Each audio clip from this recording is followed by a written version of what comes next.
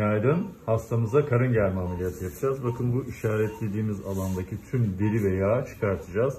Ama aynı zamanda karnın kalan kısmına da liposuction yapacağız. Baktığımız zaman belirgin bir yağ kitlesi ve deri fazlalığı var. Bu bölgede çatlaklarımız da var. Hastamızın göbek deliğini e, ayıracağız. Karın kaslarını onaracağız.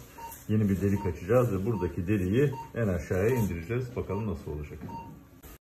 Evet, karın germe ameliyatımızı tamamladık. Hastamızın karnından oldukça büyük bir parça çıkardık. Aynı zamanda 2 litre 300 cc yağ aldık. Baktığımız zaman bel kıvrımımız oldukça iyi hale geldi. Her iki tarafta da bel yanları gayet iyi oldu. Orta hattımız gayet güzel. Karın kaslarımızı sıkılaştırdık. Bakın ne kadar ince bir hale geldi deri altındaki yağ dokusu. Aşırı gergin değil ama cildimiz e, gerginliği de gayet iyi.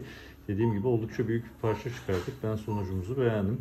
Bakın bir parça iğnenseniz de gösterelim parçaları çıkanları. Ne kadar fazla bunu tamamen alt karın bölgesinden çıkarmış olduk. Şimdi bandajımızı yapacağız. Hastamızı da odasına alacağız. Herkese güzel bir gün dilerim.